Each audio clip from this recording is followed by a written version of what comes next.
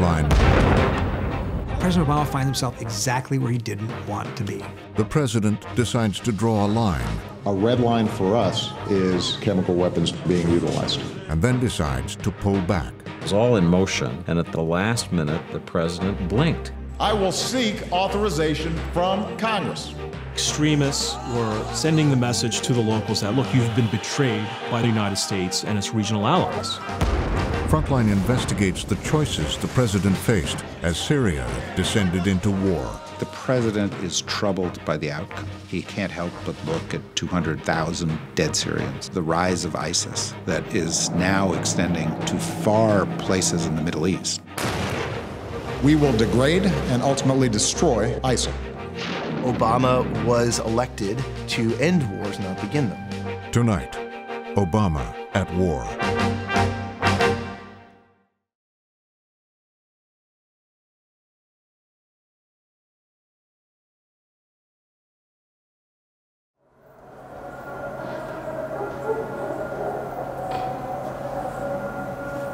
Syria, January 2011.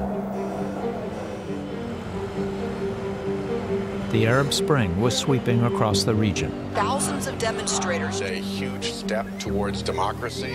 A new U.S. ambassador, Robert Ford, was just arriving in Damascus. Democracy taking place in a lot of these countries. Demanding change, they're fed up. At the time, it seemed Syria's dictator would be next to fall. Protesters in Tahrir Square drove Hosni Mubarak out of power. Mubarak actually left power uh, in Cairo the weekend after I got there. And in my first meeting with Bashar al Assad, I asked him point blank, uh, looks like kind of a difficult time for authoritarian regimes. What kinds of steps are you thinking of to get ahead of the problem? And he, he kind of brushed it aside and said, It'll never happen here. Not three weeks after that meeting, the Arab Spring started in the Haria market in Damascus. The uprising uh, of the Syrian people was a secular one. One of its slogans was Wahid, Wahid, Wahid. One, one, one, one, one, one. We are united.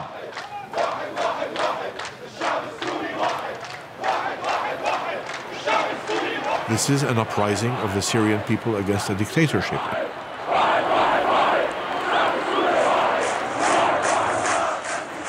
Within a matter of weeks, tens of thousands more Syrians joined the protests.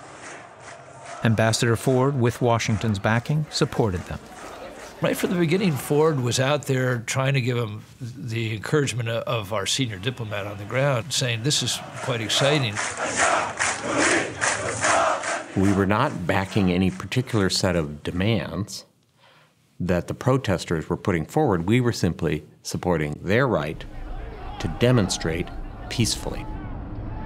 I remember Ford bravely traveling to the cities where this uh, Sunni uh, revolution was taking place at some danger to himself.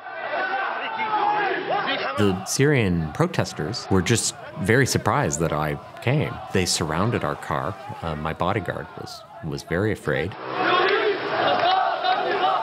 But when the people saw that the American ambassador was coming, they came up to his car and were throwing flowers. They were throwing olive branches.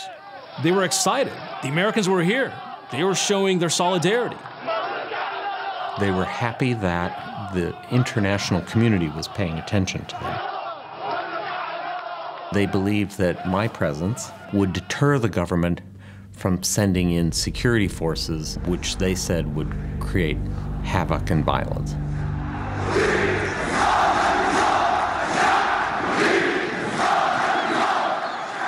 But just a few weeks after Ambassador Ford's visit to Hama, where Assad's father crushed an uprising 29 years earlier, Assad attacked.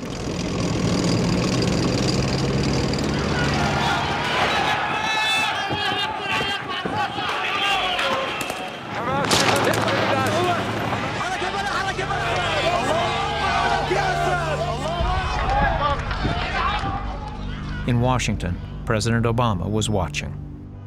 The Syrian regime has chosen the path of murder and the mass arrests of its citizens. The Syrian people have shown their courage in demanding a transition to democracy. President Assad now has a choice. He can lead that transition or get out of the way. The question was, what was the president going to do next? Must stop shooting demonstrators and allow peaceful protests. President Obama wants to use his moral power to the extent that he uh, has some by calling for Assad to leave, uh, but he doesn't believe it's America's responsibility to uh, directly stop them. There was also a feeling inside the administration that perhaps they didn't need to do much anyway. You'd seen what happened in Egypt, uh, in Tunisia, uh, in Libya, and the feeling was that uh, the popular demonstrations would ultimately bring down the regime. Everybody believed that. Everybody believed it. Look at the Israeli defense minister said that Assad was going to go in a matter of weeks. The head of the Muslim Brotherhood would said three months. Everybody, the Turks believed it. Everybody thought this little Assad minority, very narrow regime, was just going to crumble as soon as people rose up.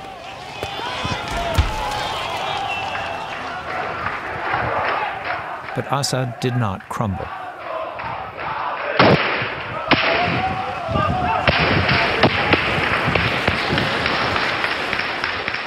The Syrian regime had clearly decided that it could crush the protests, really using brutal force with impunity.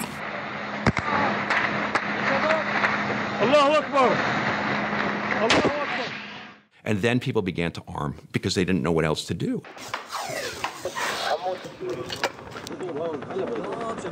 Assad countered with helicopter gunships. Long range artillery. And eventually, bombers.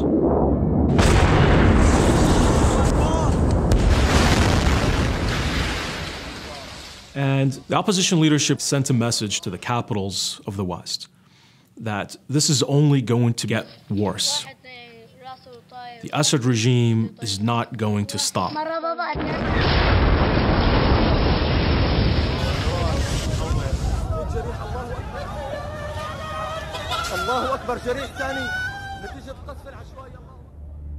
Back at the White House, they discussed their options. They listened to revised CIA assessments about the regime's strength. CIA Director David Petraeus noted that the regime's Shia allies, Iran and Hezbollah, were rallying to Assad's side. There seems to be a process by which Iran is airlifting uh, aid into Damascus. You see the growing involvement of Lebanese Hezbollah. Then you see the Revolutionary Guards Corps Quds Force leaders making a very, very important contribution to shoring up the regime forces.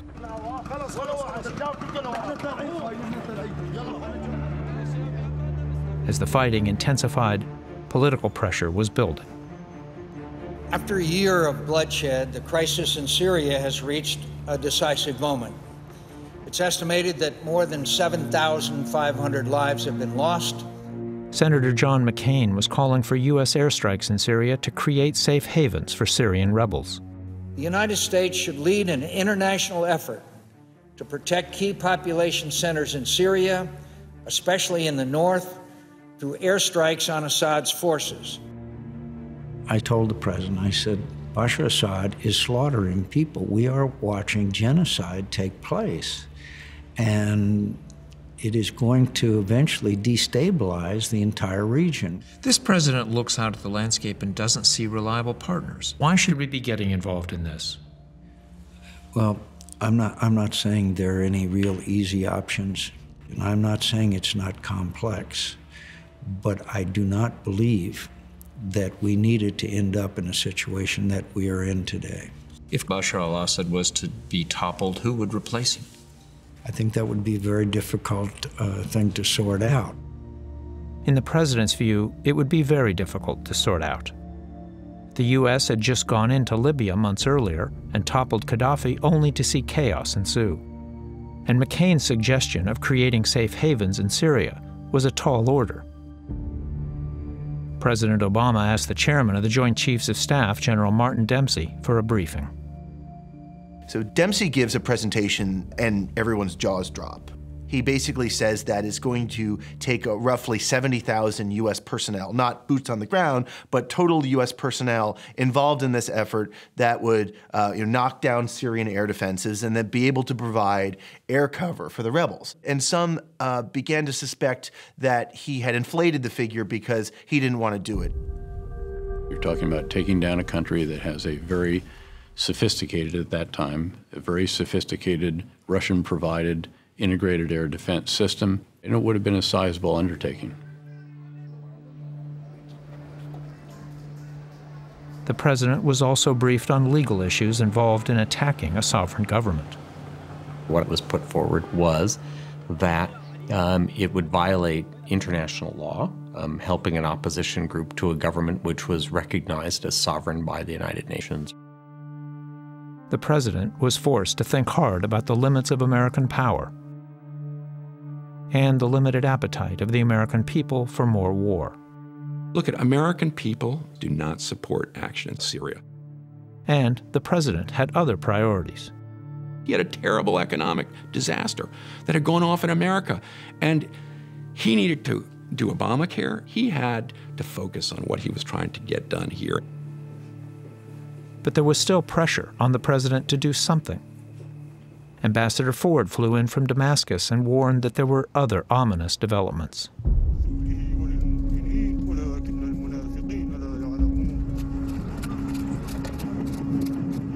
We were beginning to hear by the end of 2011 of uh, groups coming in, especially from Iraq, of uh, extremists connected to Al Qaeda.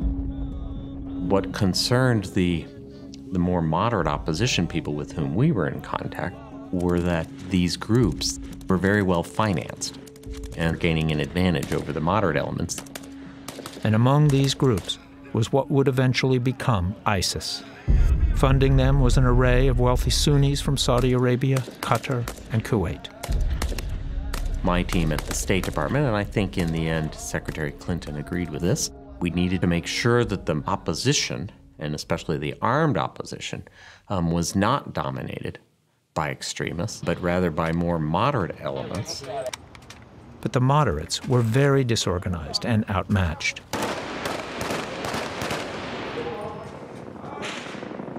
They were grossly outnumbered.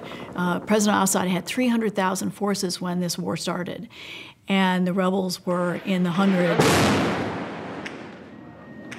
And the one advantage that President Assad has always had was air power, something the rebels on the ground couldn't either fight or counter.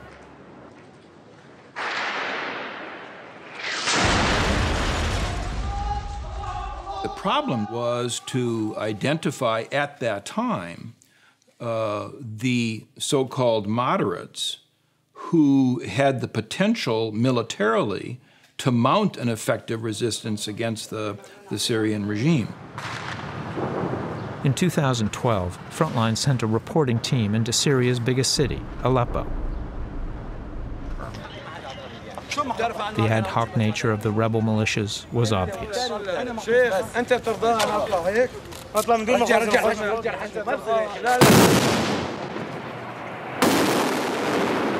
Very few had any real military experience. هون عبارة عن ثوار مدنيين تعرف أنت بالجيش في عندك شيء اسمه مبدأ العقوبة. يعني عسكري أمرته أنت بأمر. ما نفذه فيك تعاقبه. ما بين أنت هون ما فيك تعمل هذا الشيء يعني. ما في عندنا شيء اسمه عقوبة.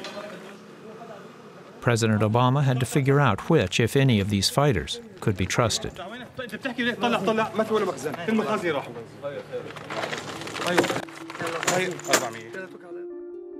He wanted to make clear that we had to be very deliberate and careful uh, when it comes to something like providing military assistance to an opposition group. Do we know that those arms aren't going to fall into the wrong hands and end up in the custody uh, of a Nusra Front or uh, an ISIL, for instance? There was a lot of worry, was there not, about where would the weapons end up? There were very le legitimate concerns, and Uh, what one tries to do in a situation like that is, again, gather as much information as possible, but recognize that at the end of the day, there are always going to be risks, there are no guarantees, uh, there are no certainties. There were no certainties, but in the summer of 2012, Petraeus came up with a proposal. David Petraeus, then the CIA director, presents his plan uh, that would be a, a, CIA covert action to uh, secretly arm the rebels from bases in Jordan. Petraeus's covert plan gave the administration plausible deniability if legal issues arose concerning the attempted overthrow of a sovereign government, or if the weapons turned up in the wrong hands. Petraeus pressed ahead. And he finds allies in uh, Hillary Rodham Clinton and Leon Panetta, who was his predecessor at CIA and now the defense secretary. And they push this idea and they say it's time for us to get involved. We can't stay on the sidelines. My view was if we really want the rebels to succeed, the only way we could do that, the only way we were going to get credibility with those that were fighting on the streets and dying, was to be able to provide the weapons they needed in order to confront Assad.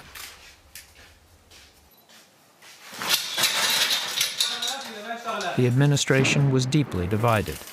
Recent history provided contradictory lessons. We were driven in part by our impulse learned in the Balkans about the necessity of, of U.S. intervention in the Balkans to help uh, end a humanitarian emergency, to help deal with brutal dictators, but also very mindful of the lesson we took from Iraq, where the the insertion of American power, the, the overextension of American power in Iraq brought tremendous hardship onto the people of Iraq, on our country. Perhaps the strongest advocate for arming the rebels was Samantha Power, head of Obama's newly formed Atrocities Prevention Board, and author of the Pulitzer Prize winning book, A Problem from Hell America and the Age of Genocide. One of America's responsibilities in the world, as she sees it, is to step in and help protect the powerless, to help uh, in situations where people are being victimized by brutal and despotic regimes like that of Bashar al Assad. So for her, Syria is the Balkans all over again and Rwanda all over again. And she's advocating a more robust response. She's saying we can't uh, let this go on without, uh, without stepping in. But inside the president's inner circle of advisors, which included National Security Deputy Denis McDonough, there was a lot of resistance.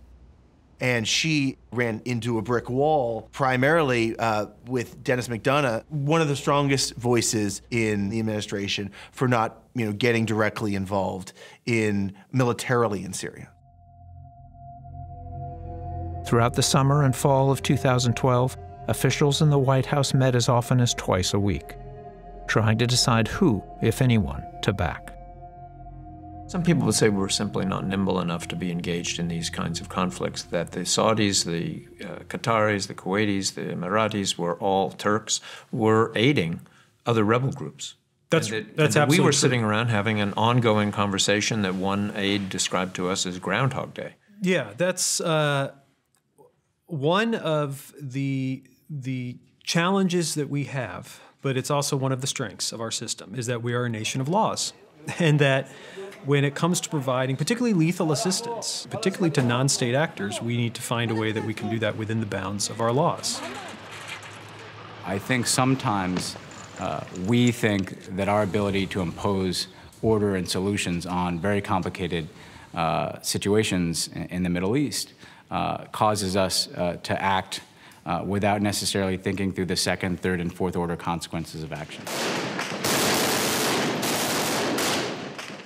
They want to help the good Syrians who are getting massacred. Who doesn't want to do that?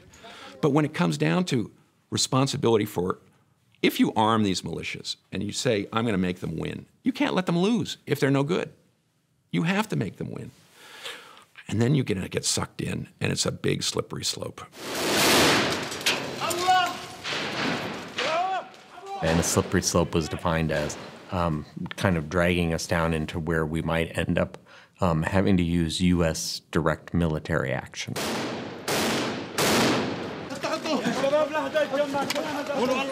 In the fall of 2012, Aleppo was still up for grabs.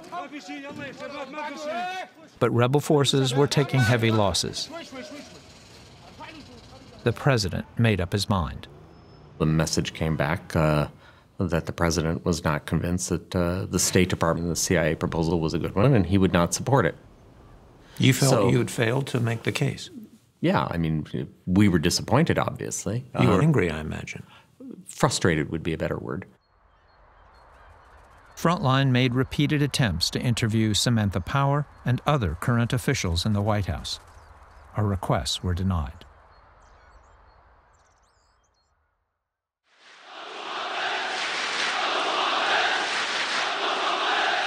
In early 2013, Assad appeared in public for the first time in six months to address his supporters.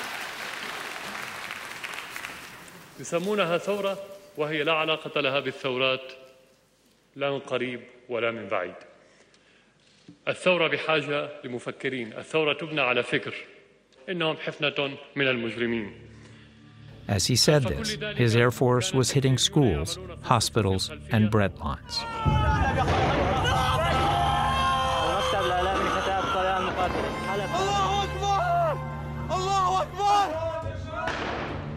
After two years of war, more than 60,000 Syrians had been killed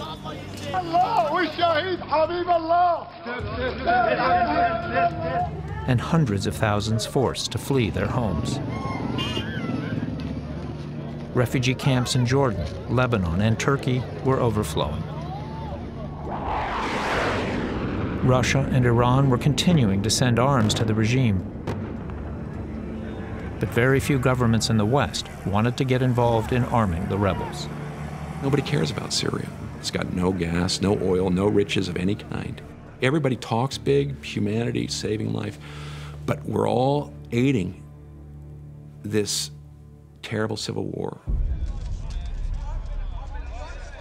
With no one to stop him, Assad initiated a new phase in the war the deployment of chemical weapons. The Assad regime calculated that their use of chemical weapons would strike terror in the hearts of the civilians and would ultimately rob the rebel forces of the civilian populace in which it needed to operate it. So it was very calculated and it was very shrewd and was very, very cynical. A few months earlier, the president was holding a routine press conference about campaign finance, Medicare, and Afghanistan.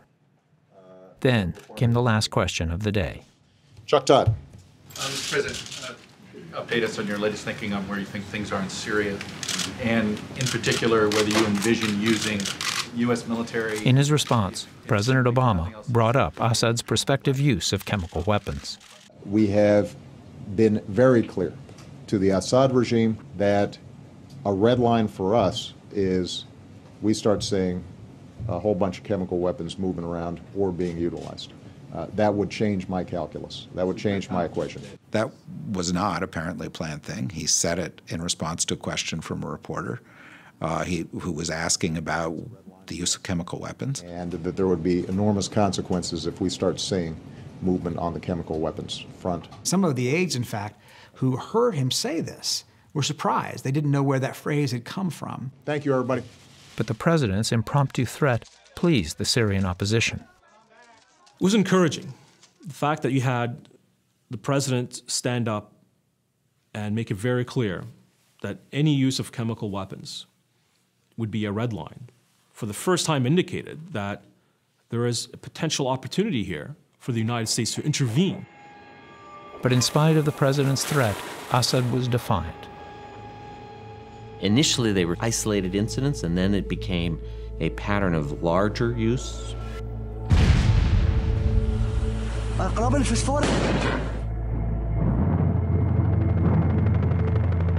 And um, multiple attacks in a, in a concentrated area.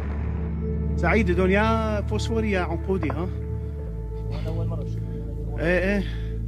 And so through the spring, there are these provocations that go basically unanswered. And in hindsight, it looks like, anyway, Bashar al Assad was testing uh, and pushing and seeing how far he could go, uh, where this red line really was drawn.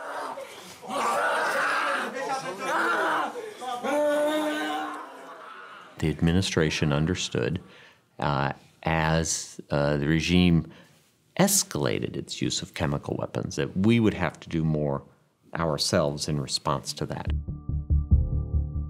And you saw John Kerry, the new Secretary of State in 2013, becomes uh, a very active voice in this debate. On June 12, 2013, Obama huddled with Kerry and others in the White House to discuss their response. So, Secretary of State Kerry goes to that meeting in June of 2013 uh, with talking points, laying out the worsening situation. The intelligence community was assessing that, you know, the rebels were really on the ropes. You have the clear proof within the intelligence community that there had been chemical weapons attacks. And I think there was this feeling among the president's advisors that it was time to do something and to say that they were doing something. So there is a public announcement by the administration that they've made a decision to start arming rebel groups.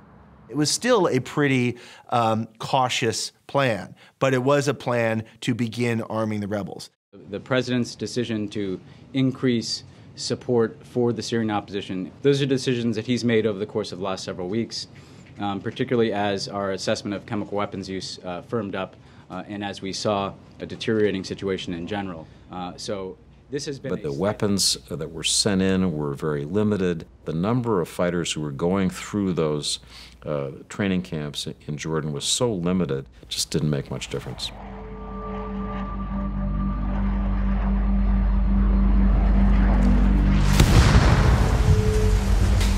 Then, a sarin gas attack on a rebel held suburb of Damascus.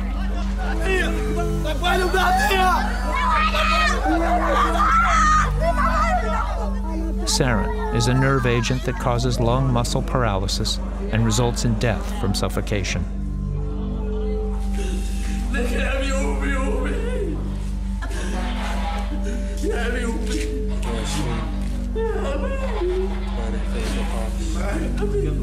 Fourteen hundred men, women, and children are killed, according to what the American intelligence agencies tell the president.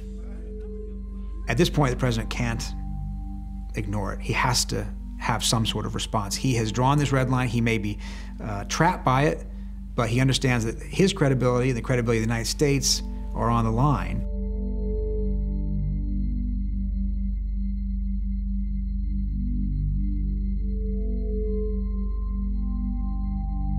The indiscriminate slaughter of civilians, the killing of women and children and innocent bystanders by chemical weapons is a moral obscenity President Obama believes there must be accountability for those who would use the world's most heinous weapons against the world's most vulnerable people. The president ordered the military to get ready.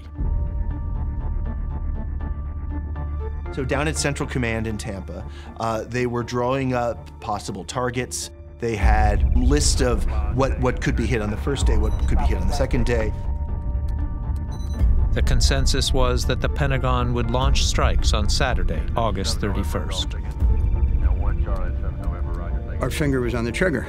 We had gone through the targeting plans and the targeting solutions. The crews were alerted, and so we had everything in place, and we were just waiting uh, for instructions to proceed. And the threat of U.S. action was enough to, you know, have, have a significant effect on the ground. It was uh, noted all over the Arab world that suddenly people in the regime were panicking. But Obama's having second thoughts. He's feeling alone. His friends in Britain say, yes, we're with you, but then Parliament says, no, we're not. It is clear to me that the British Parliament, reflecting the views of the British people, does not want to see British military action. I get that, and the government will act accordingly. It was a Friday night, and I got a call from the President of the United States, and he said to me, um, I am uh, considering an alternative course of action.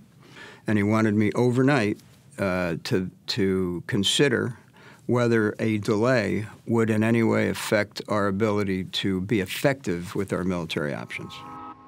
The next morning, Obama summoned his longtime foreign policy advisor, now Chief of Staff, Denis McDonough. And he goes for a walk on the South Lawn with McDonough, and they circle this pathway again and again and again for 45 minutes talking about what to do. And the president tells him, I've got this idea. Why don't we go to Congress and ask them to approve a strike? What he's looking for is buy in. As near as we can tell, uh, he worried that he didn't have sufficient political support for you know, what might be a long running conflict. The president was looking for a way to not have to make good on the threat that he had made. I think because the president, having drawn that red line, realized that he had no appetite for direct military engagement in, in Syria. So he comes back in from this walk with Denis McDonough and he tells some of his other advisors, and they can't believe what they're hearing. This is a crazy idea as far as they're concerned. If you go to Congress, they tell him, and you lose a vote like this, it would be devastating to your political standing. And they pushed back, and he held firm. A few hours later, the president called a press conference in the Rose Garden. After careful deliberation, I have decided that the United States should take military action against Syrian regime targets.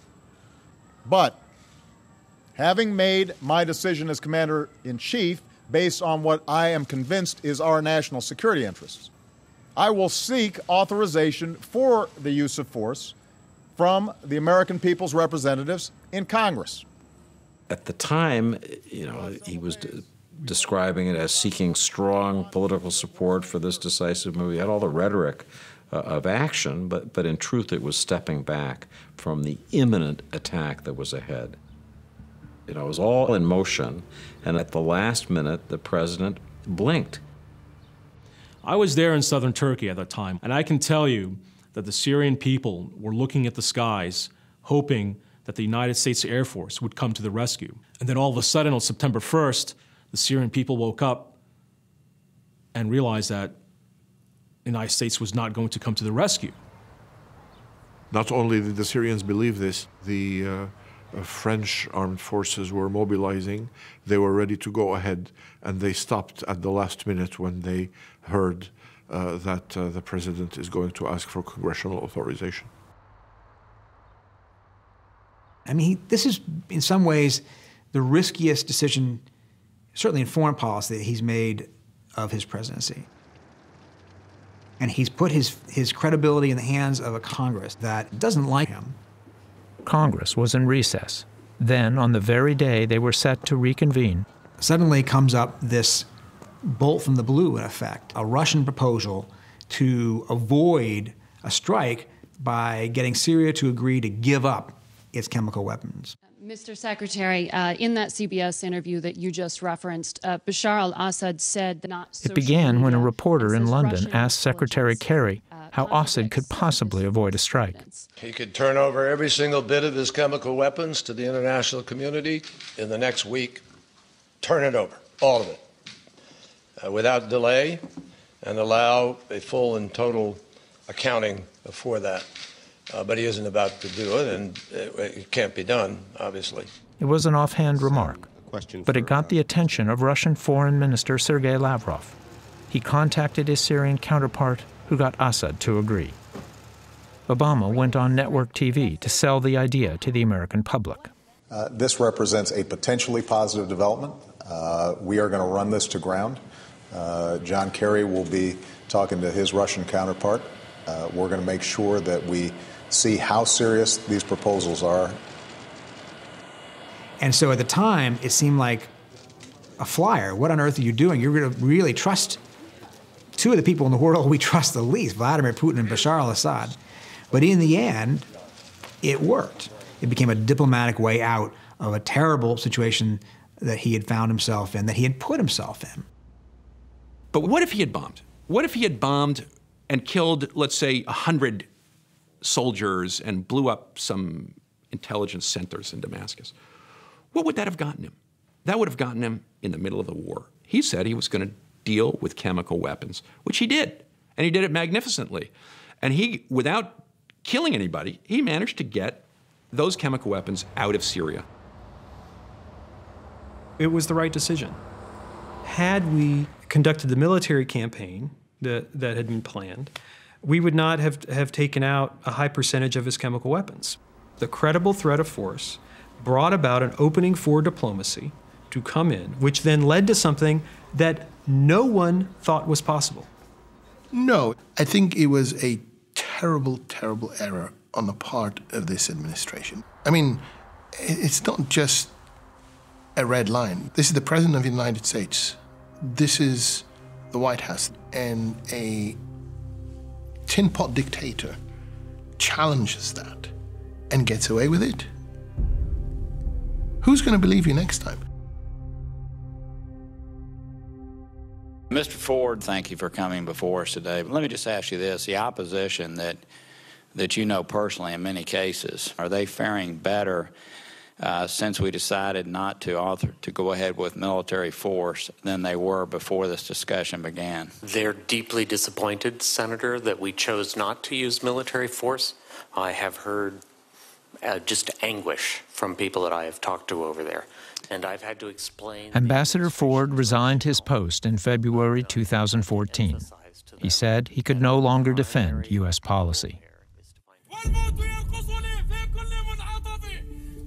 Extremists exploited the decision not to attack. Immediately afterwards, extremists and what eventually became to be ISIS were sending the message to the locals that, look, you've been betrayed by the world. Do not trust those nationalist rebel forces that at this point were receiving nominal support from the United States and its regional allies. They make the argument to Syrians, well, you can't count on the Americans. Stick with us. We're the only ones who can take down Assad and create a whole new order here.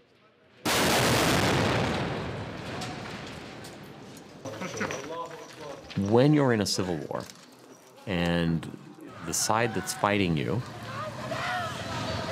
is dropping barrel bombs, killing indiscriminately, when it is using chemical weapons. And then someone comes to you and says, We will help defend you against those people. Um, I think it's human nature to seek the help of those who will defend you against this external threat that's killing you, arresting you, torturing you. Is it really a surprise that that Syrian opposition and the people that support them would seek the help of anybody to get rid of the regime that is inflicting this pain. By January 2014, many moderate rebels had joined with extremist groups. ISIS emerged as the strongest of the factions. They had wrested control of the provincial capital Raqqa in northeastern Syria. The city of one million people became their capital.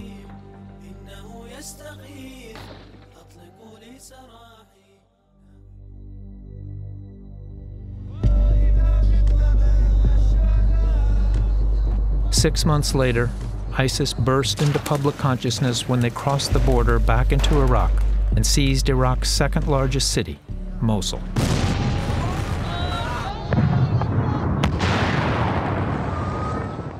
Sunni residents welcomed them.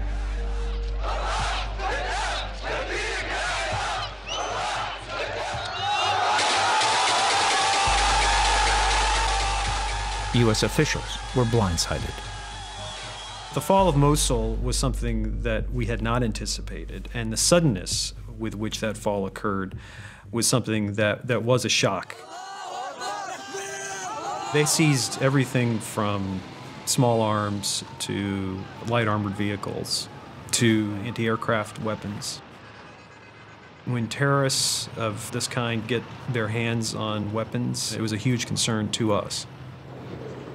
I don't think we've truly understood the depth of the problem until the fall of Mosul. For all the contingency planning that you routinely do here at the Pentagon, were there plans for how to react to the fall of Mosul to ISIS? Well, no, there were not, because, uh, of course, so look, there were several things that surprised us about ISIL. The degree to which they were able to form their own coalition, both inside of Syria uh, and inside of uh, northwestern Iraq. The military capability that they exhibited, the collapse of the Iraqi security forces. Yeah, in those initial days, there were a few surprises. Within the White House, the reaction was shock and concern that it looked like they were losing Iraq. But there was very little action. Mosul was the second biggest city in Iraq. But even that was not enough to really motivate action. Facing little or no resistance, ISIS moved deeper inside Iraq, capturing town after town.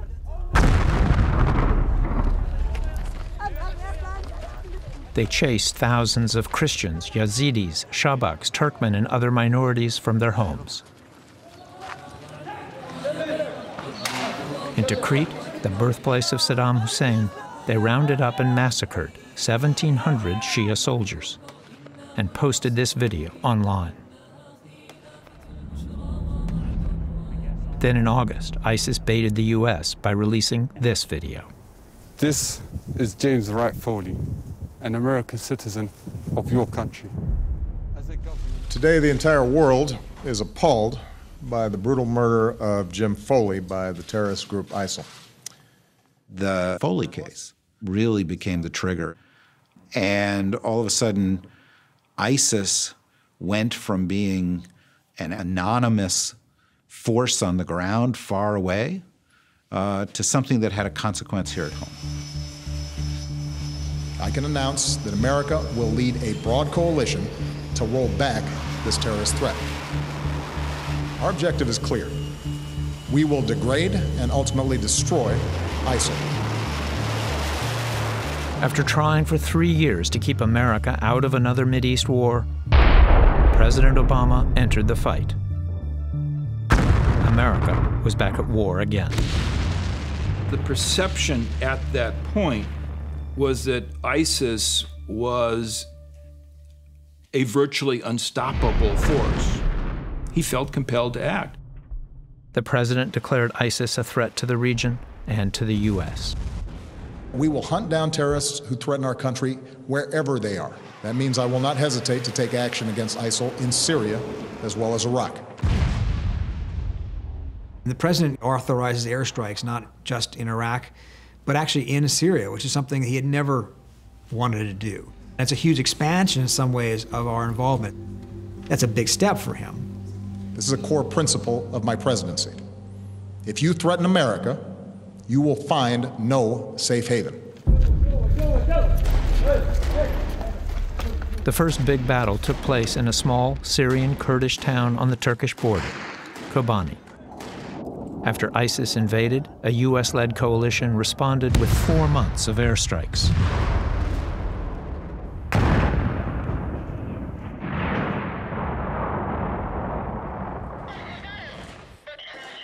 Kurdish volunteers from Iraq and Syria provided the ground force against ISIS militants. Kobani became a test of resolve for both Obama and ISIS.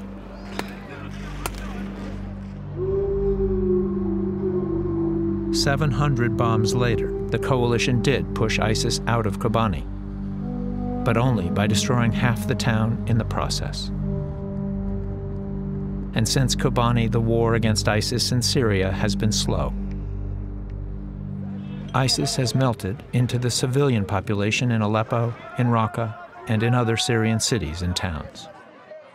The way the forces are intermingled make it very difficult to deliver precision munitions on the target you intend. Because to do otherwise would be potentially destabilizing in its own way. Dropping bombs is really not going to kill the Islamic State. And so it seems that the Islamic State is going to maintain its control over the eastern half of Syria uh, more or less indefinitely.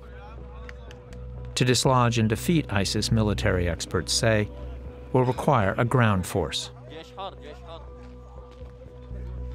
And to that end, Obama has now sent U.S. trainers and advisors to the region and pledged $500 million to recruit and train some rebels.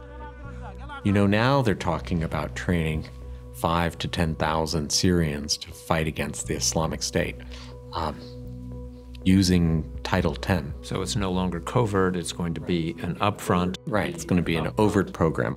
State Department was proposing this kind of help back in 2012. The administration's new training program has been severely delayed. Only 90 rebels have taken part so far. And the Pentagon now says that the first 5,000 rebels won't be vetted and ready until the end of this year at the earliest. I worry now that we're too little and we're too late. Did we have a window of opportunity at one point that Sure, we did. swamped? Of course, we did.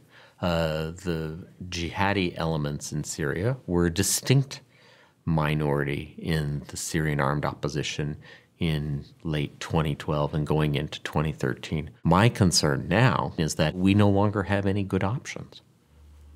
We no longer have any good options.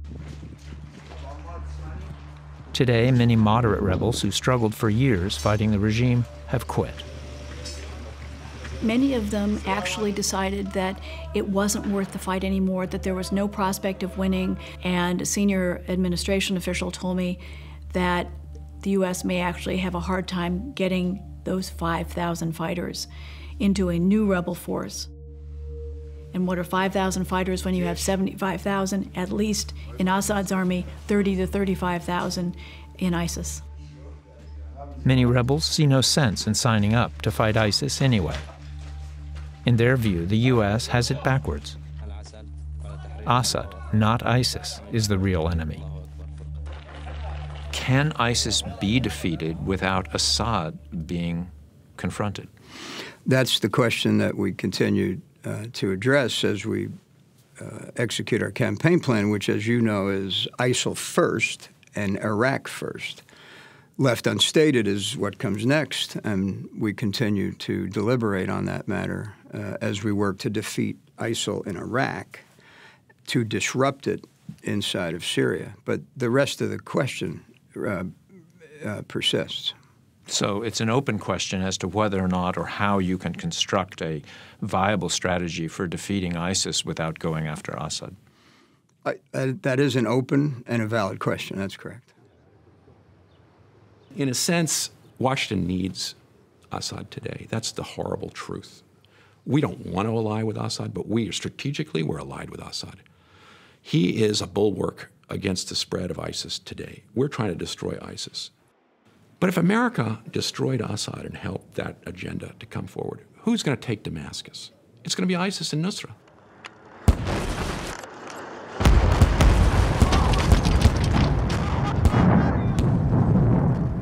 The war in Syria is now in its fifth year. More than 220,000 are dead. Half the country's people have been forced from their homes. And inspectors suspect that Assad still possesses sarin gas. He is also weaponizing chlorine.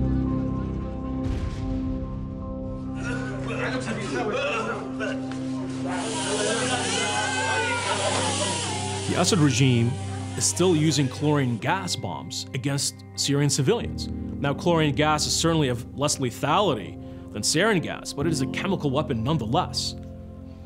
So you have a regime that's using chlorine gas continuously against the civil, civilian populace without international repercussions. I have family members who have been killed, and I have friends who have been killed. Uh, it is heartbreaking. I would say, Mr. President, that you are going to go down in history if you continue like this, as somebody who has tarnished the reputation of the United States. You have created many more enemies in the Middle East, and you have uh, unwittingly uh, assisted uh, global terrorism. I think the president is troubled by the outcome. I think the president, you know, can't help but look at 200,000 plus dead Syrians, millions of dislocated Syrians, the rise of ISIS, uh, the rise of a conflagration that is now extending to far places in the Middle East. You know, I think he has to be deeply troubled by that, and I think those around him that I've spoken to have said that he is troubled by that. And yet, I don't think he thinks that there was something he could have or should have done to have changed that. I think he believes strongly that it was not uh, in the interest of the United States to get itself more deeply uh, entangled in somebody else's war, and it uh, uh it's a terrible tragedy. Um, but I don't know that he has specific regrets in the sense that he wishes he had done this or that at a specific point. History shows pretty emphatically, history of the last 30 or 40 years, that our efforts to police the Middle East haven't worked. And when we talk about moral obligations, there, there is also a moral obligation, it seems to me, to take history seriously, to, to learn from one's mistakes, rather than simply to insist that if we try harder next time, uh, we will get a better uh, outcome. President said we should not do stupid shit. That was his. Good, good, good thing. I mean, everybody's made fun of him for that, but I mean, it is, you know, in a in a in a horrible, bleak world of this conflict, civil war in Syria, that's not a bad motto. You know, you, you, you need to realize the limits of your ability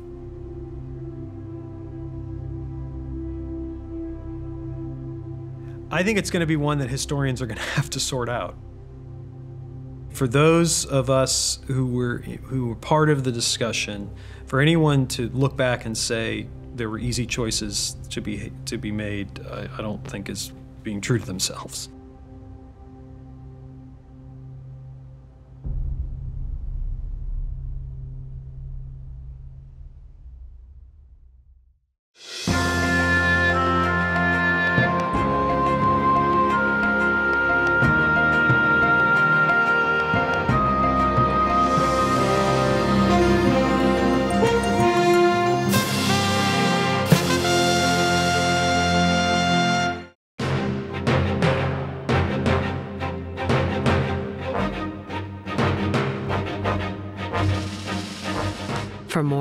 And other Frontline programs, visit pbs.org/frontline.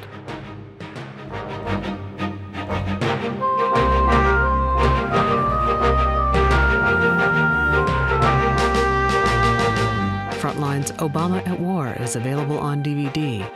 To order, visit shoppbs.org or call 1 800 PLAY PBS. Frontline is also available for download on iTunes.